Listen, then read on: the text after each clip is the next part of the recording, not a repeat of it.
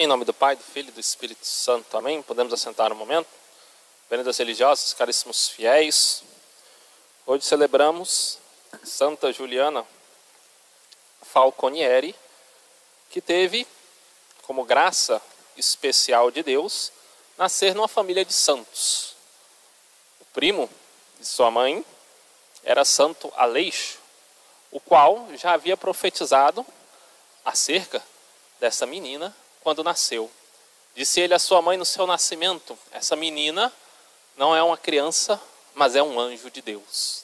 E assim foi a infância de Santa Juliana. Vivia constantemente buscando uma vida agradável a Nosso Senhor. Suas primeiras palavras foram Jesus e Maria, e narra-se que desde toda a sua infância não cessava de invocá-los.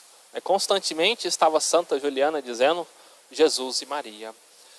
Assim, ela que nasceu no século XIII, numa família nobre, aos 15 anos, optou deixar toda a riqueza, tudo aquilo que ela tinha e que ela poderia conseguir com um santo matrimônio, com o um matrimônio com outra família nobre, para seguir a um padre chamado Filipes, que depois tornará São Filipe, né, junto um dos fundadores das ordens dos servitas. E assim, ela vai estar fundando, né, junto ali com São Filipe, a ordem, a congregação das servas de Maria. Então ela vai optar por estar seguindo São Filipe e seguindo ali a São Filipe, outras meninas viram aquela jovem com seus 15 anos que se dedicou à vida de caridade, servir os hospitais, servir ao próximo, servir a nosso Senhor enfermo em cada pessoa que estava ali doente naquele tempo. E assim, ela entregou a sua vida, ela entregou o dom da sua vocação, ela buscou junto àquelas outras religiosas, até que aquilo se tornou uma congregação, a congregação das servas de Maria. As virtudes que adornavam sua alma, sua alma era sua profunda humildade, né, sua castidade absoluta e uma fecunda vida de penitência, uma vida de penitência levada a sério. Ela, que narra, narram os escritores, né, nunca havia fitado ou olhado né, com interesse para homem algum em toda a sua vida, sempre quis entregar o coração ao Senhor, ao mesmo tempo buscava uma vida de grande penitência. Né, Conta-nos os autores que por dois dias na semana ela fazia jejum constante, e quando ia comungar, naquele tempo a comunhão não era tão frequente, ela tinha a autorização de comungar duas vezes na semana, fazia total abstinência de alimento. Penitências essas que não são para nós imitarmos, porque talvez não conseguiríamos, mas para admirar o quão, quão fecundo foi o amor de Deus na vida de Santa Juliana.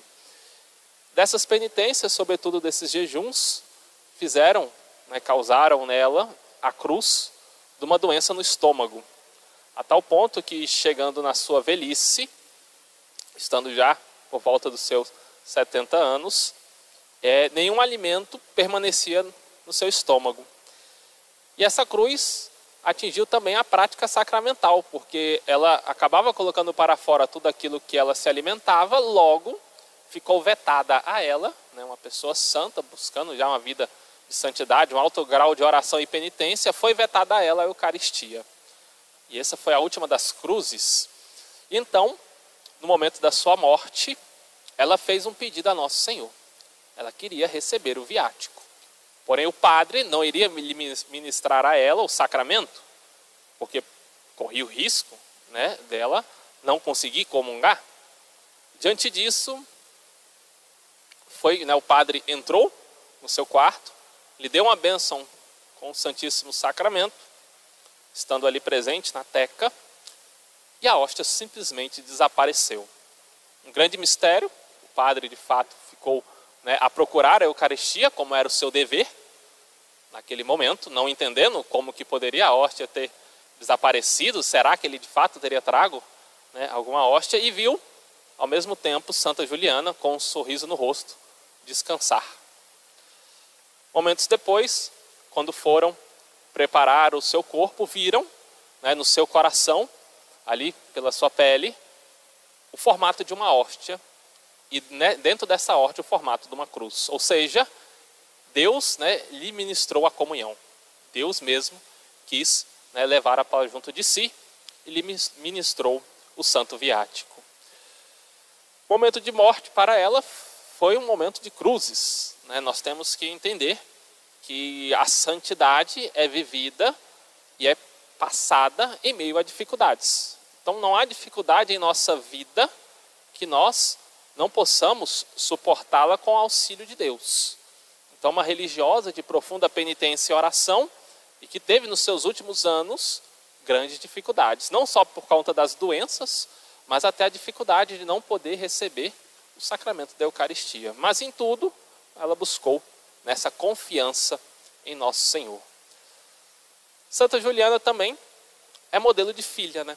Nasceu numa família católica que tinham né, como parentes padres que se tornaram santos e que assim proporcionaram a ela né, uma vida de santidade. Né? Ela fez parte de uma fundação junto a outro santo e assim no convívio com esses santos tornou-se ela mesma santa. Isso nos mostra a importância das boas convivências nas nossas famílias. Né? Assim como uma má convivência, uma pessoa que às vezes não tem como objetivo uma vida espiritual de santidade pode trazer para as crianças más incentivos, sobretudo quando essa pessoa cativa as crianças. Assim também, nós que buscamos a santidade devemos sim dar o bom testemunho e cativar os jovens, cativar as crianças. Elas possam entender que viver a vida de santidade vale a pena, de que viver a vida de santidade é o ideal, de que amar a nosso Senhor Jesus Cristo é o principal objetivo das nossas vidas e assim nós seremos eternamente felizes.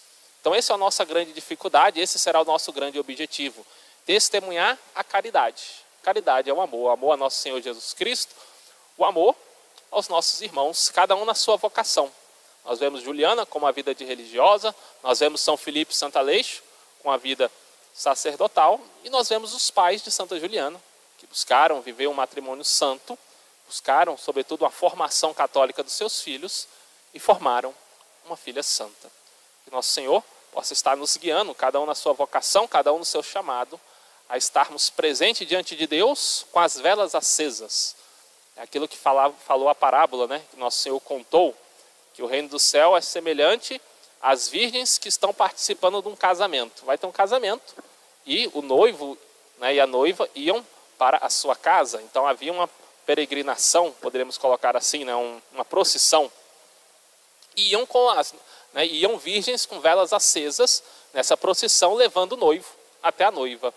Porém, né, algumas virgens não levaram azeite extra consigo, ou seja, não buscaram perseverar na fé, não levaram a graça de Deus e, no momento em que menos esperavam, foram chamados por Deus. Ou seja, a morte veio no momento em que não estavam com a graça.